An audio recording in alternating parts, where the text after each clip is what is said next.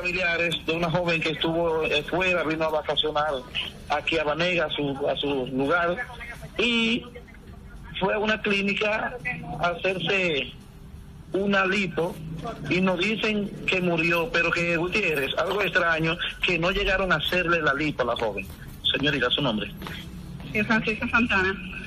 Buenas tardes, ¿cómo se llama la dama que murió? Someli Castillo. ¿Vivía en el país?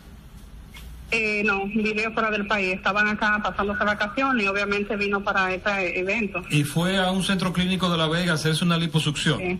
Politécnico La Vega. ¿Y qué pasó? ¿Qué ustedes saben? Eh, en el proceso de la anestesia, ella eh, convulsionó, no, no podía despertar, o sea, cayó en coma.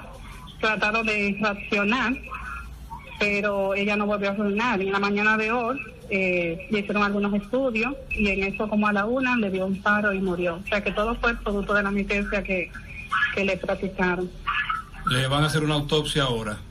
Exacto, le, vamos, le van a hacer una autopsia, la van a sacar de la clínica y la llevan hasta un centro privado de Santiago para hacerle la misma. Exacto, ya me dicen que van con el cuerpo y un médico a hacerle la autopsia. Y hay que esperar ahora lo que establece la autopsia. ¿Ustedes no descartan alguna acción judicial?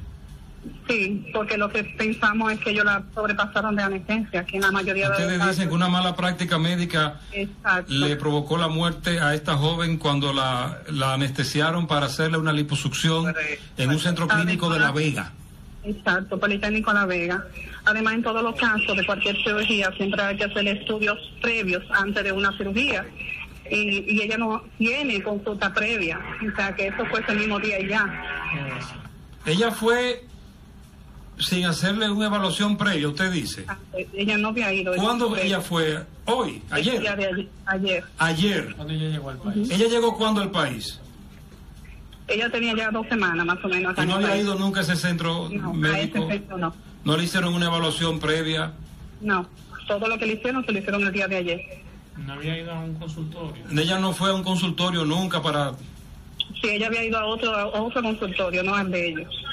Ella había buscado otra opinión. Exacto. ¿Cómo se llamaba ella? Perdón, excúseme. Someli Castillo. Someli. ¿Qué edad tenía? Sí. ¿Qué edad tenía? 28 años, ella estaba en salud, no tenía ningún ni antecedente mórbido ni ningún eh, problema ya anterior. Ustedes dicen que fue en, en el proceso de anestesia que, le- que la mataron. Los análisis que ya se había hecho estaban todo en orden.